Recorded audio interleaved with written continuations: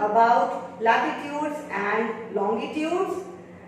For that we need to know first about what is a globe. So let's look at the picture. Globe is a perfect model of earth and it represents earth to be a perfect sphere. Whereas our planet earth in reality is not a perfect sphere. It is an oblate spheroid or geoid which means that it is bulging at the equator and flattened at the poles. But as the globe represents the planet Earth, so if we try to locate any place on the globe, then we need to take help of the grid system that is Earth's grid or geographical grid. And the grid is drawn with the help of imaginary lines, vertical and horizontal imaginary lines known as latitudes and longitudes. So students, before we learn about Earth's grid, we need to know what are latitudes and what are longitudes. So let's start with latitudes. Latitudes are imaginary line joining places having same angular distance either north or south of the equator. So students, let's understand this definition with the help of this diagram.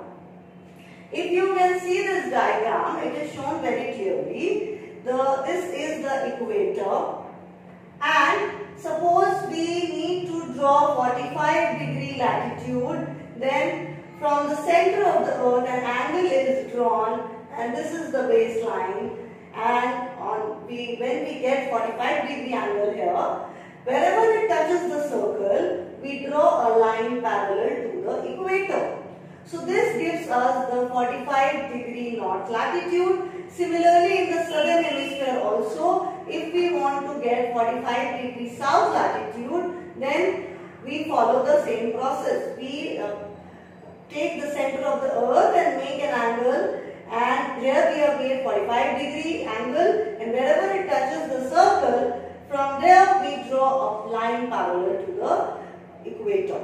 So it becomes 45 degree south latitude. So students like this, we get or we calculate the latitude of a place and this is the method with the help of which we have drawn all the latitudes.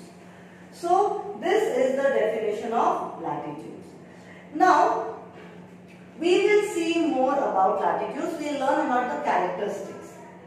So if you see in this diagram, then you can see clearly that equator is a line which divides the earth into northern half and southern half. We call this the area, the part of the earth above the equator is called northern hemisphere and the part of the earth below the equator is known as southern hemisphere. So we can say equator is the largest possible circle that can be drawn along a globe and it divides the earth into two hemispheres northern hemisphere and below the equator southern hemisphere. Now, what about other latitudes? So, latitudes are horizontal imaginary lines and they are all drawn parallel to the equator. Children have put arrows to show that all the latitudes are parallel to the equator. So what are the characteristics of latitude we can find out from the explanation I have just given. First one, they are imaginary lines, horizontal lines. Second one, they are all parallel to each other. That is, they are parallel to the equator. Then, if we want to know more, then we can say that by looking at the diagram, that the, all the latitudes, they are not equal in length. And when we move from equator to the poles, that is north, we call this north pole and this end is known as south pole. So when we move from equator to the poles, uh, either north or south, then the length of the latitudes decreases. And then we can say more that the uh, equator is the largest latitude and as we that is marked as 0 degree. Then we have 90 latitudes in southern hemisphere and 90 latitudes in the northern hemisphere. So 90 in the north and 90 in the south. Total becomes 180 plus equator. So there are 181 latitudes in total and they are all, all parallel to each other. And you know students the distance between two latitudes is approximately 111 kilometers. And there are certain latitudes which are considered to be very important and they help to divide the earth into heat zones. So we will learn about this later in the chapter. Now students we will learn about longitudes. So what is a longitude or line of longitude?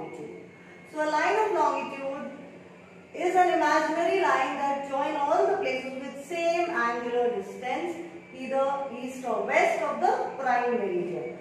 So if you can recall the definition of latitude, line of latitude, so it seems similar. Only the difference is here east or west and they are these are vertical lines whereas in case of latitudes they were horizontal imaginary lines. Now students I will also uh, tell you the characteristics of longitude and we will also compare the characteristics of latitudes and longitudes so that you understand the difference between these two and your concept becomes clear. So as we measure in case of latitude we measure uh, the angle from, we take it the center of the earth and from there we measure an angle and we draw a latitude. Similarly in case of longitude also the same method is followed but it is drawn either east or west of the prime meridian. So let's have a look at this diagram and with the help of this I will explain more about longitudes. So if you see here there is a line drawn. This is it's written prime meridian. So students, uh, as equator is the most important latitude, it is the reference line uh, and other latitudes are drawn following the equator. Similarly, in case of longitudes, prime meridian is the reference line, the most important uh, longitude and it is marked as 0 degree.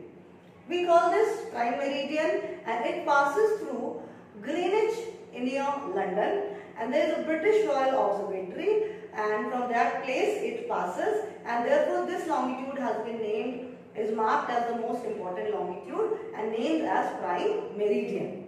Now all the other longitudes have been drawn either east or west. So towards the east there are 180 longitudes and towards the west 180 longitudes.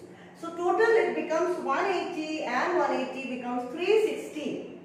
But there is one more that is the prime meridian. So it should be 361. So there should be 361 longitudes but there are only 360 longitudes.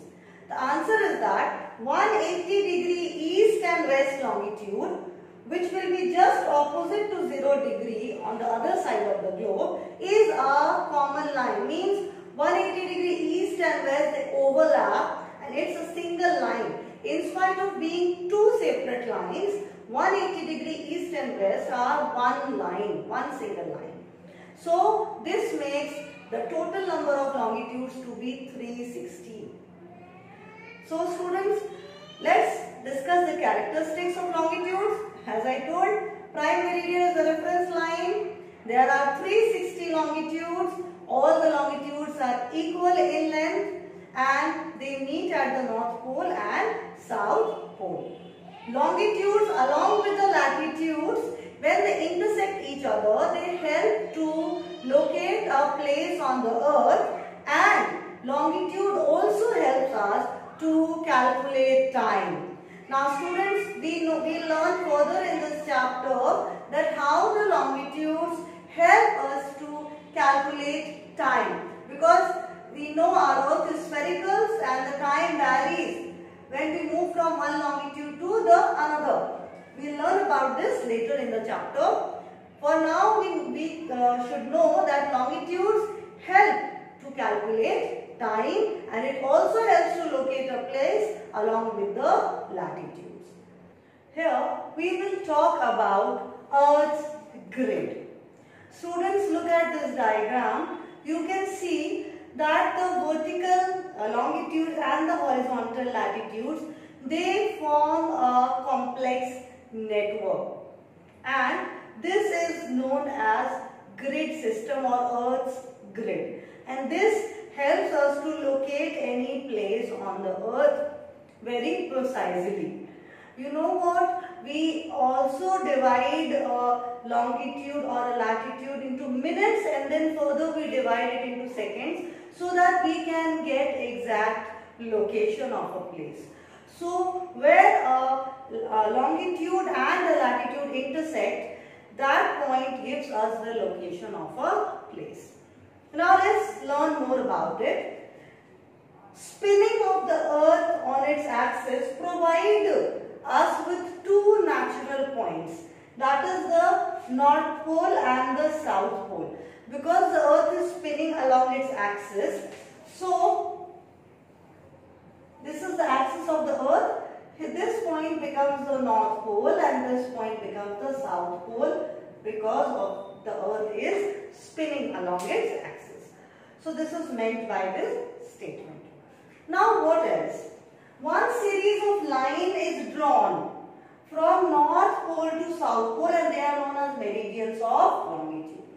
So the refer taking reference of the North and South Pole, we draw a series of lines that is the vertical lines known as uh, meridians of longitude.